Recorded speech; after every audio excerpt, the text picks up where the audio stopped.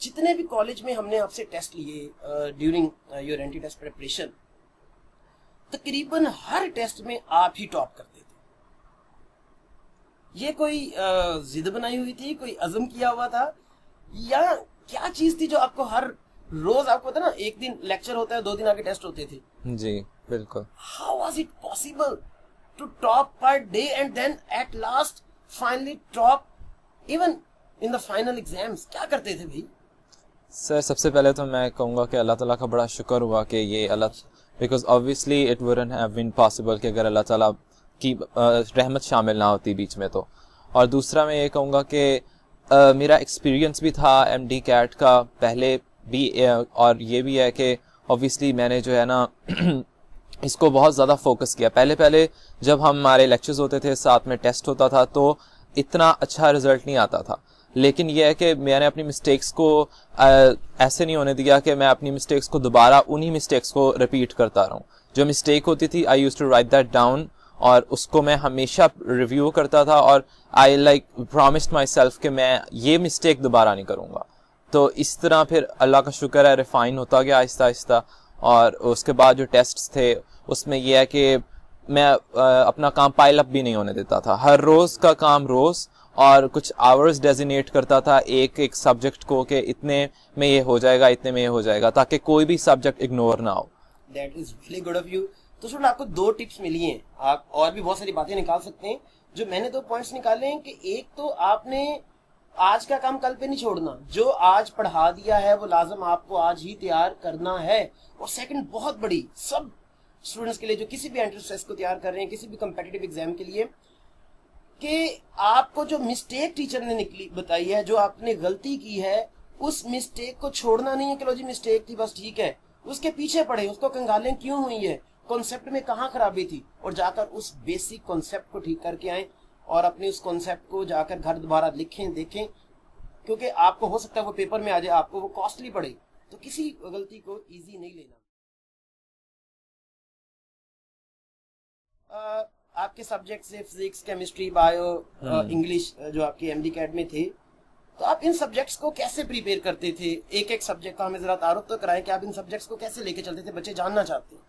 सबसे पहले तो sir I would like to start with biology के बायोलॉजी तो एम डी कैट में ऐसे ही है कि आपने जो बुक में लिखा हुआ है उसको फॉलो करना है।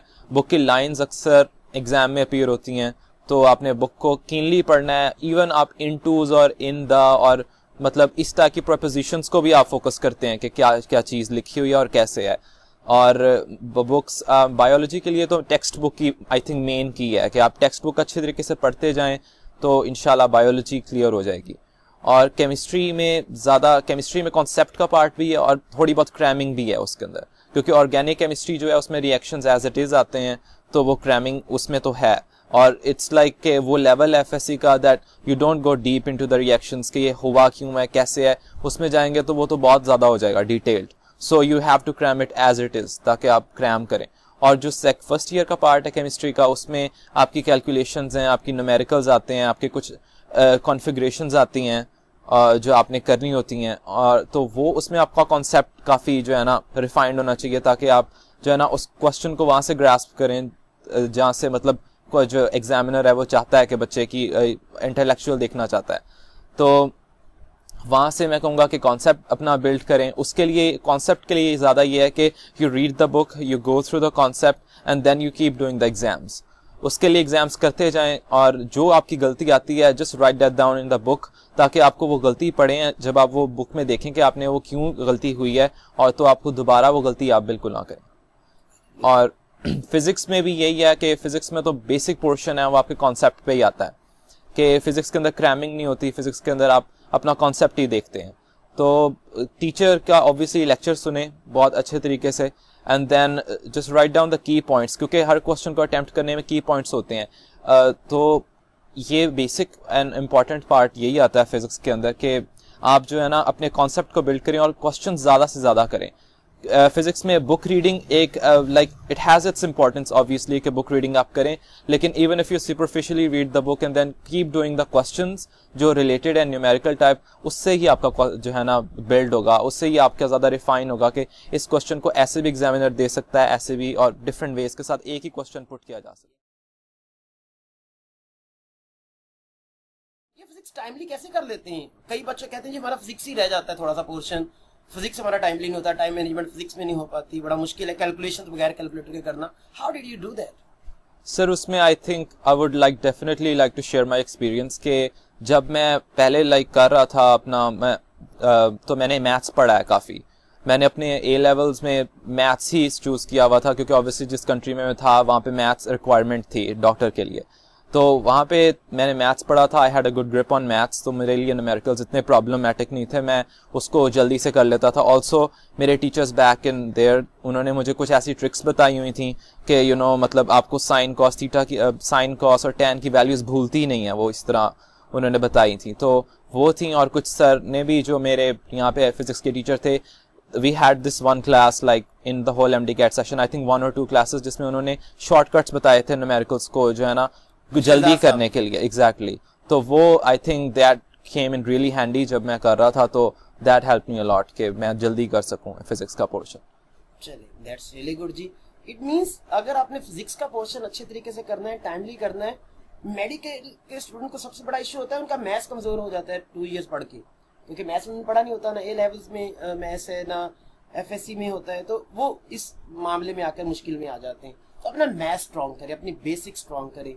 जो आपका फिजिक्स हम्म। का टीचर है और किसी भी जगह पढ़ रहे हैं तो उस टीचर के साथ आए कंसल्टेशन में कि सर हमें मैथ्स को कैलकुलेट करने की बेसिक टेक्निक्स दें कि कैसे क्विकली जो है वो विदाउट कैलकुलेटर हम कर सकते हैं। कुछ बेसिक फार्मूलाज हैं जैसे हनान ने बताया कि इनके जो टीचर थे फिजिक्स के सर शहजाद उन्होंने इनको बेसिक टेक्निक्स दी थी। फिर इनके जो बैक टीचर थे जो इनके कॉलेज लेवल के वहाँ से भी कुछ टेक्निक्स लेकर आए हुए थे। इट मीन्स कि टीचर गुरु देता है। गुरु इसलिए तो उसको कहते हैं।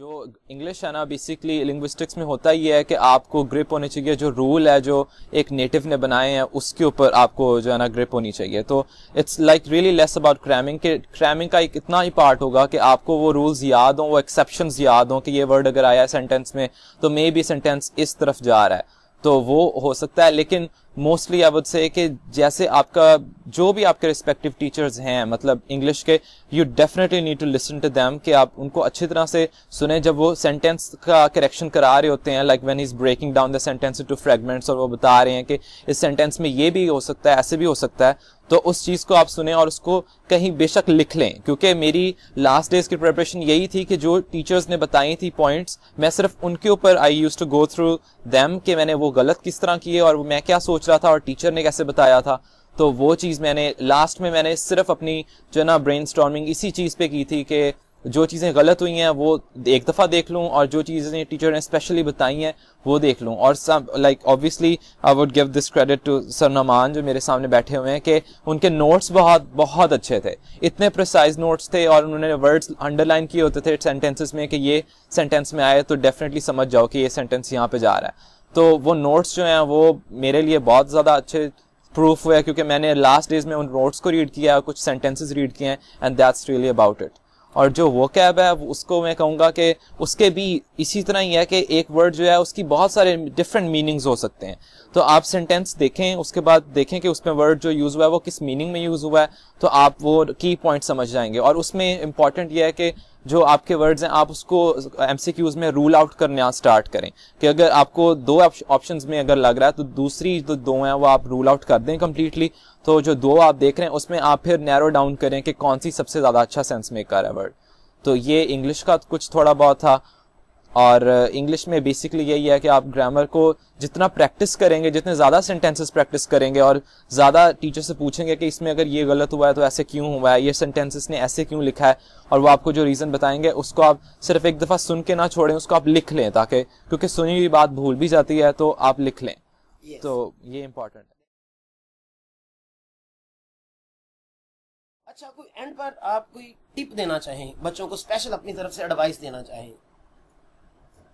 एडवाइस इस लाइक ऑब्वियसली टाइम क्राइसिस का है और बच्चे इंस्टीट्यूट्स में जाके नहीं पढ़ पा रहे, जैसे हमने पढ़ा था तो obviously it's a different experience लेकिन सिंस के अभी हम भी पढ़ रहे हैं तो हम भी क्वारंटाइन एजुकेशन ही ले रहे हैं तो मोस्टली आई थिंक कि इसमें सबसे ज़्यादा रूटीन रखना और उस चीज़ को मेंटेन रखना कि आप जितना काम कर रहे हैं, उतना आप हर रोज़ करें और बल्कि उसको अगर आप एक्सेल करना चाहते हैं तो उससे इंक्रीज करते जाएँ रोज़ रोज़ तो उस चीज़ को मेंटेन करना ज़रा मुश्किल है, इसलिए क्योंकि when you are at home तो आपको सब कुछ रिलैक्स होता है बंदा, कोई कंपटीशन नहीं होता, कोई ये नहीं होता कि इतने बच्चे हैं तो मतलब if students are working hard तो आपको भी एक मोटिवेशन मिलती है।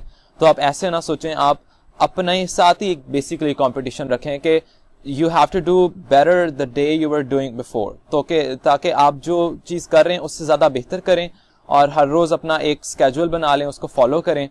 और मैं यही कहूँगा कि टाइम लिमिट में एग्ज़ाम को करने की कोशिश करें। इट्स नॉट लाइक कि आप एग्ज़ाम कर and you are taking four hours three hours आप time time exam timed exam करें, उसके बाद फिर देखें आपकी इतनी मिस्टेक्स होती हैं। और ऑब्वियसली आई वुड से कि अगर आप मिस्टेक्स का, क्योंकि मिस्टेक्स होती हैं, सबसे होती हैं, मेरे से ऑनेस्टली बहुत ज़्यादा मिस्टेक्स होती थी। एंड मिस्टेक्स से ही बंदा सीखता है कि if you don't let those mistakes go out of your hand और आप उनको भूल ही जाएँ तो तो नहीं होता। अगर आप उनको याद रखें और आप उनको लिख लें और दोबारा वो मिस्टेक ना करें then only then you can like improve तो इसलिए मैं कहूँगा कि आप मिस्टेक्स होती हैं। देर इज़ नो वे कि आप मिस्टेक के बगैर ही सब कुछ कर लें ऐसी बात नहीं है। तो अगर मिस्टेक होए तो सर ने जैसे कहा आप घबराएँ ना। आप उसको इम्प्रूव करने की कोशिश करें इनशाला इन द एंड आपको रिज़ल्ट मिलेगा। दैट्स रियली गुड मिस्टेक्स होती हैं जी। टू एर इज़ ह्यूमन कि इंसान खता का पुतला है। तो गलतियाँ होनी ही है। याद रखिएगा गलती करना मसला नहीं है गलती दोहराना मसला है। अगर आपने मिस्टेक की नो इशू नेक्स्ट नहीं होनी चाहिए उसको घर जाके करेक्ट करें। That was what Hanan saying and I am summing it up कि मिस्टेक होना मसला नहीं है मिस्टेक रिपीट करना मसला है।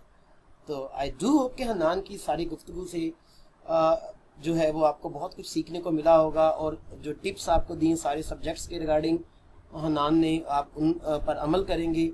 And you would try to do as much better as he did ठीक है जी? हनान के 199 ओवर 200 थे। तो मैं उम्मीद करता हूँ कि कोई ऐसा भी आएगा जो 200 आउट ऑफ़ 200 भी लेगा। And yes you can definitely do and if you think you can you will और अगर आप सोचते ना, जी, मैं नहीं कर सकता तो आप नहीं कर सकती। एक आखिरी टिप है, जाने से पहले मेरी तरफ़ से कि आपका जो ब्रेन है ना, ये बड़ा मज़े की चीज़ है, ये आपका बड़ा गुलाम होता है, ये आपकी बड़ी मानता है, क्योंकि आपका है, ये आपका जाती है। अगर आप इस ब्रेन को कह देते हो ना, जी मैं नहीं कर सकता। ब्रेन ओके कहता है, ओके, डन जी, लॉक करो। वो आप नहीं कर पाएँगे, क्योंकि ब्रेन आपको लेके नहीं जाएगा। यस नेगेटिविटी आगे नेगेटिविटीज को जन्म देती जाएगी।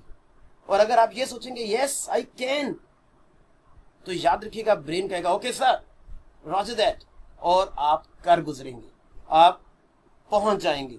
But you have to believe in yourself you have to believe yes you have the potential to do that तो thank you Anan ji Thank बहुत शुक्रिया आपका आपने टाइम दिया।